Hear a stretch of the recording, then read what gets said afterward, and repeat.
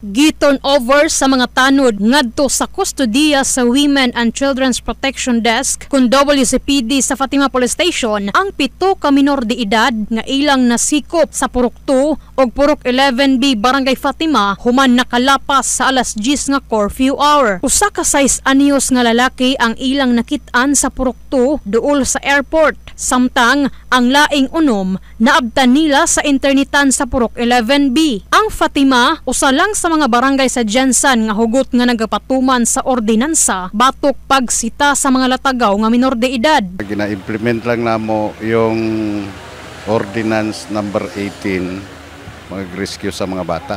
Dito lang sa vicinity sa Barangay Fatima. Ang iba nasa internetan, ang iba yung yung bata nasa kuan na, nagatulog sa dapin sa dalan. So ito nga para sa tanan nga taga Barangay Fatima para sa inyong kaalaman ah, itong operation na ito continuous na ito continuous wala kay para ma-aware natin yung mga tapok-tapok Ang mga na-turn over nga mga minor de edad ipailawom sa counseling ingon man ang ilahang mga ginikanan. Kahibaluan hangtod alas 4 sa kadlawon ginapatuman ang curfew hour sa mga batanon sa maong barangay. Nagpahimangno ang mga opisyal sa barangay ngadto sa mga ginikanan nga i-monitor ang mga lihok sa anak og dili tugutan nga mogawas kung 10 oras na sa kagab-ihon. Kini si Enemy Mugpon in the heart of changing lives. Brigada News.